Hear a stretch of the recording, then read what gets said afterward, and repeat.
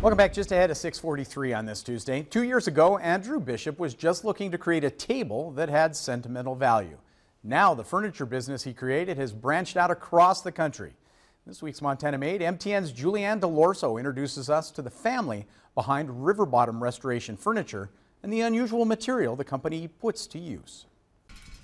When Andrew Bishop's family put roots down on a farm just east of Brady 100 years ago, my dad tells a story about my grandfather trying to plant every species of trees there was back in the 40s and just he couldn't find a tree that would grow out here. They might never have imagined Andrew would go out on a limb and use their weeds to grow a business. My family thought I was a little bit crazy. Andrew makes furniture out of Russian olive trees, which are considered a noxious weed. I'm the only guy that shows up when you Google Russian olive furniture. From scouting the perfect tree, sized Russian olive here, milling it out, planing it, sanding it, and finishing it. Pour tung oil over the board and uh, really comes to life. You'd think this was a full-time job for him and his wife, but... I'm a lawyer, so this is very different from my day to day.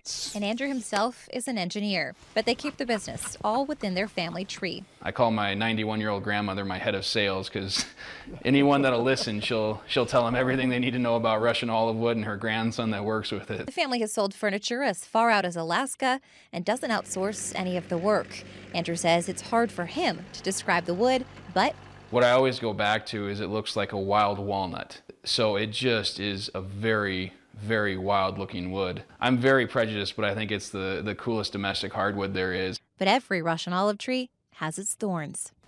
That's a sharp one.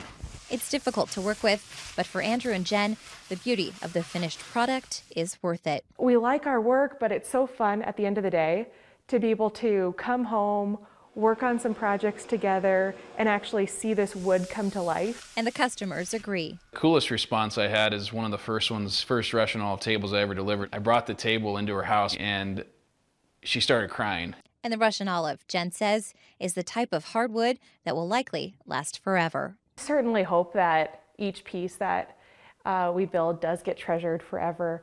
Um, that's what people tell us a lot of times when they order a piece is that they want to buy something that can be handed down.